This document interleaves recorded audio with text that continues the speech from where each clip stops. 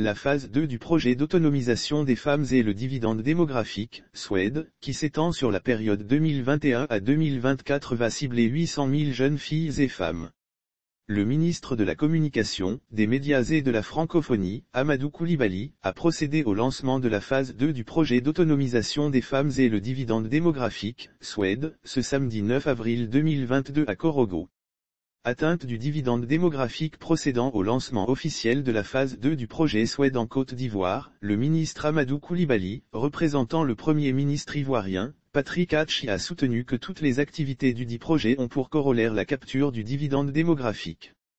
L'atteinte du dividende démographique est un passage obligé pour les pays en développement. Le ministre de la Communication, des médias et de la francophonie a affirmé que l'atteinte du dividende démographique est un passage obligé pour les pays en développement, pour non seulement orienter de façon efficiente et efficace les ressources vers les domaines clés du développement, mais offrir à nos populations, surtout féminines, les atouts pour un mieux-être et un accroissement de la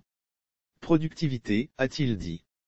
Lire aussi Autonomisation des femmes et dividendes démographiques, la phase 2 du projet SWED lancé, samedi dernier Amadou Koulibaly est donc convaincu que le projet SWED est un projet important qui permet de transformer la croissance démographique en une opportunité économique. Amélioration des conditions de vie Le représentant du Premier ministre a, de ce fait, rappelé que ce projet régional est une priorité gouvernementale car, ces actions participent à l'amélioration des conditions de vie des femmes et des jeunes filles. Environ 250 000 filles non scolarisées et déscolarisées et 215 000 filles en milieu scolaire au premier cycle du secondaire seront touchées par les interventions. Le projet SWED est aligné sur la vision du gouvernement contenue dans le Plan national de développement, PND 2021 à 2025. Plus particulièrement, il s'inscrit dans les piliers 2 et 4 que sont le développement du capital humain et la promotion de l'emploi et le renforcement de l'inclusion sociale, de la solidarité et de l'action sociale, a indiqué Amadou Koulibaly.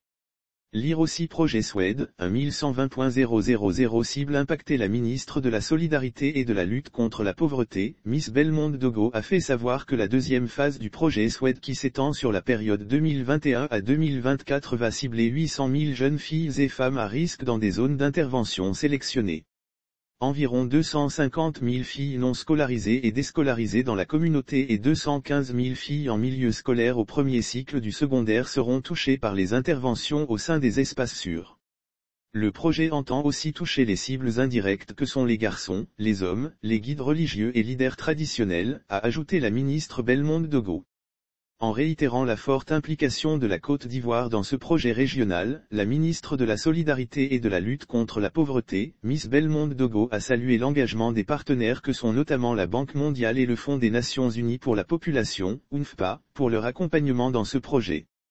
Sans oublier les ONGS locales et internationales qui ne ménagent aucun effort pour leur contribution au profit des cibles du projet SWED.